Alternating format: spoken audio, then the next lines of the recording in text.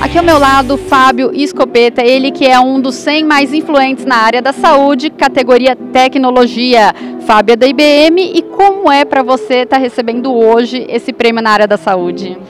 Bom, tá, é um, uma premiação como essa é, é bom para é, confirmar a importância do trabalho que você fez no passado até então, mas eu acho que mais importante é, coloca mais pressão no que você vai fazer no futuro. Eu acho que uma premiação é sobre futuro, não necessariamente é, passado. Ela fala do seu potencial de transformação.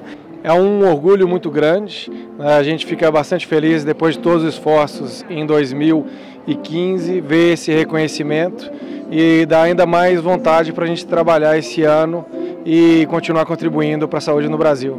Estamos ao lado do Dr. Sérgio, ele é um dos 100 mais influentes do setor da saúde, na categoria filantropia. Como é receber esse reconhecimento, doutor Sérgio?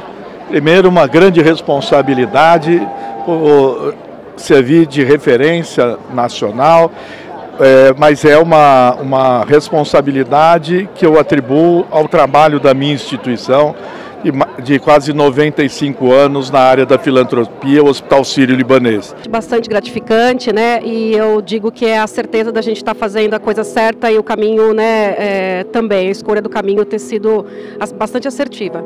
É, é um ano adverso, é um ano que a gente precisou se reinventar e eu acho que eu consegui, de alguma maneira, é, contribuir para as instituições de saúde que estão aí com seus desafios gigantescos, especialmente na área de é, economia, finanças. Então, eu acho que assim é, essa, essa é a melhor resposta de que nós conseguimos chegar num resultado que estava previsto, mesmo quando a gente ainda não tinha toda a certeza de como esse mercado ia se comportar. Verônica é uma pessoa muito especial, ela lidera uma equipe de RH muito bacana na Taqueda, onde a gente tem um clima maravilhoso.